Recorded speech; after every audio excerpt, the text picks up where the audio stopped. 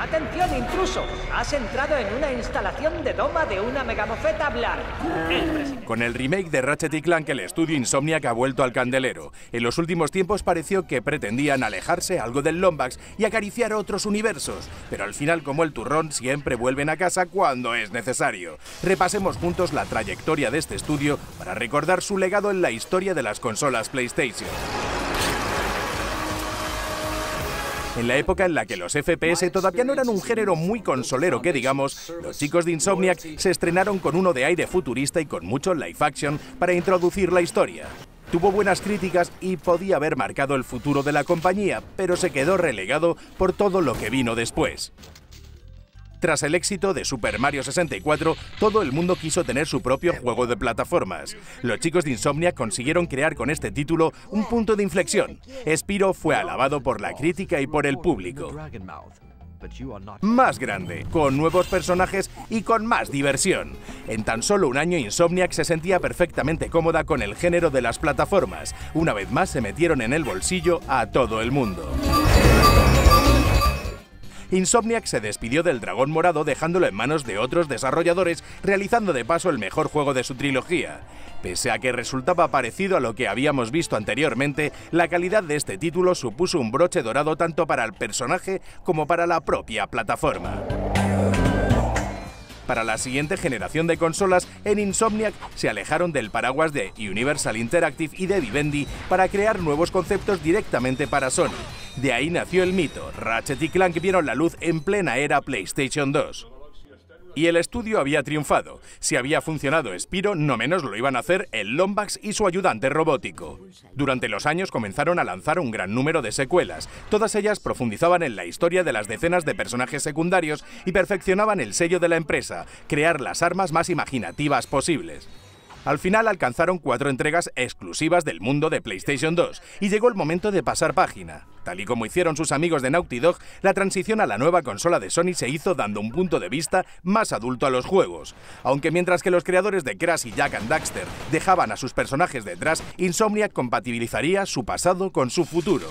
Con el estreno de la consola de Sony, los chicos de Insomniac retomaron el género de los FPS que les había visto nacer. En este caso, su nuevo lanzamiento, Resistance, era una mezcla de Call of Duty de la época, o sea, de la Segunda Guerra Mundial, con una invasión extraterrestre a gran escala, y todo tipo de armas supermolonas. El público valoró positivamente el cambio con más de 4 millones de copias vendidas. Pese a que habían cambiado de tercio, el Lombax tenía que probar PlayStation 3. Gracias a las posibilidades de la nueva generación de consolas, lanzaron un Ratchet Clank que poco tenía que envidiar de las producciones de cine de animación que se estrenaban en aquellos años.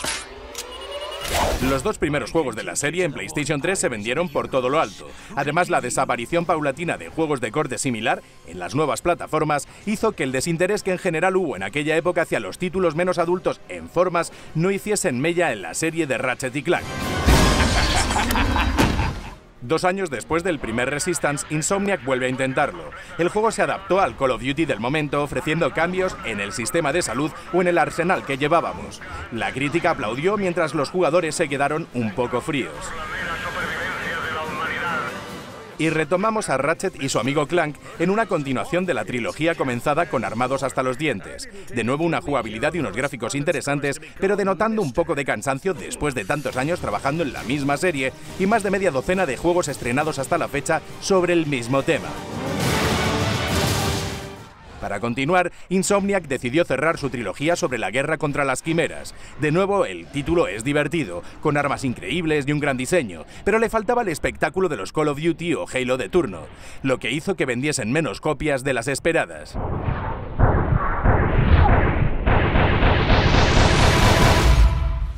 En este momento vuelven a intentarlo con Ratchet y Clank. Para hacerlo más divertido crean un multijugador cooperativo en el que hasta cuatro personajes pueden liarla en pantalla. Supuso un chorro de aire fresco para la serie.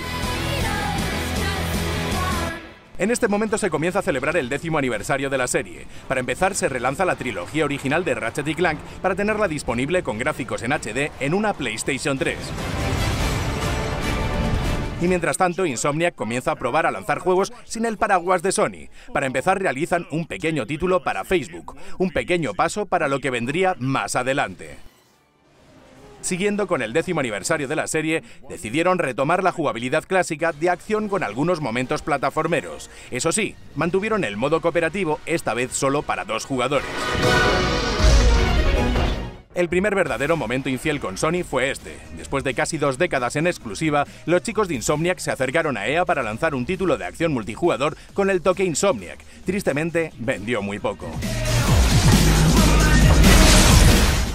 Como siempre, en poco tiempo volvieron a la serie Ratchet. Ahora, para cerrar la trilogía de Atrapado en el Tiempo, el último gran arco de los personajes. Después de este título, el Lombax y el androide se tomaron unas vacaciones. Pese a la calidad de los juegos, las ventas no iban demasiado bien. Habían bajado de los 3 millones de copias de la primera entrega a vender 700.000 con este último capítulo. Por ello se liaron la manta a la cabeza y corrieron a los brazos del primero que les prometió amor eterno.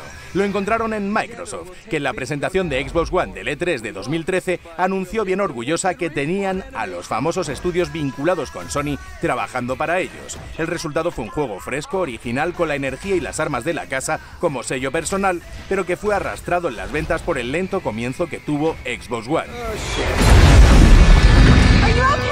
Y de nuevo vuelta al calor y a la seguridad de Ratchet y Clank, esta vez para hacerlo regresar a sus orígenes, a su esencia. Para ello se estrenan estos días videojuego y película, todo basado en el primer juego, en el original de hace 14 años. Está el público de PlayStation 4 preparado para gozarlo en un entorno de acción plataformera que tuvo su momento álgido hace dos décadas. Mientras tanto nos queda soñar hasta que llegue lo último de Insomniac, un juego más parecido a Uncharted que a Ratchet y Clank en el que tendremos que enfrentarnos a los peligros de la naturaleza. Bueno, y a unos cuantos bichejos más, y todo en un entorno de realidad virtual que te quitará el hipo. De momento, pintaza. Hasta aquí todo por hoy, próximamente te ofreceremos más vídeos en Vandal Televisión. Hasta entonces.